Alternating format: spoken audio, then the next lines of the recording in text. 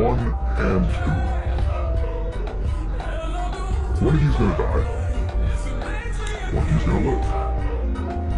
And the thing is, it's your choice.